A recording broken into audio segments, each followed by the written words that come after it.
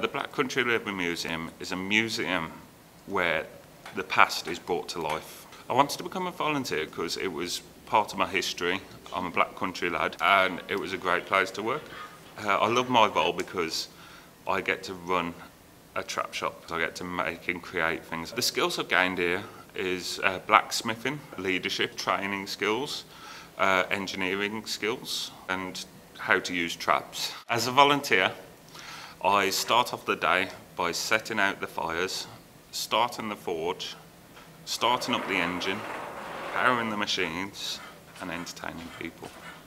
I enjoy talking to the visitors, they find it fascinating.